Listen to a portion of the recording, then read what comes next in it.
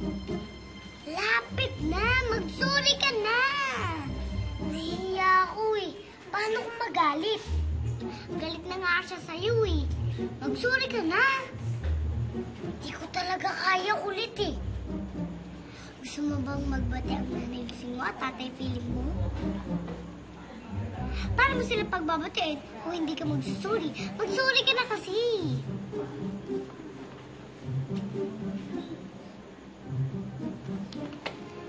Alam ko na. Ano?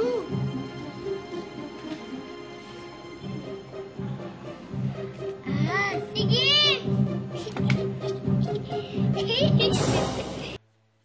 o sige na, kulit.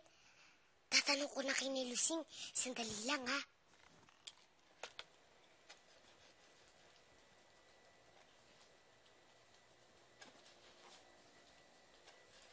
Ah, Nilusing?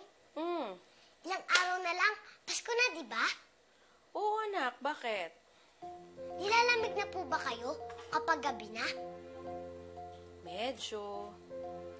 Wala po ba kayong namimiss? Siyempre, antay-Philip mo.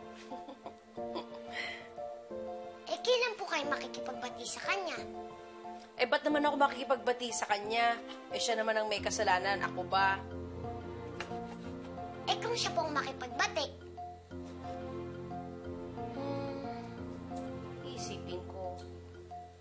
Teka, bakit mo tinatanong, ha?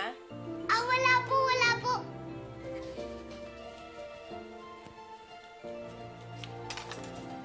Okay, kulit. Tuloy ang plano bukas. Baba mo na yung telepono. Baka nandiyan si Nayusing. Gigi, sino kausap mo? Ah, wala po, wala po. Papasok na po ako sa kwarto. Gagawin ko na po ang plano ko.